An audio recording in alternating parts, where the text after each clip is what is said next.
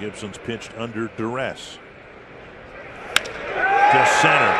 Buxton back and leaping and making the catch in center field.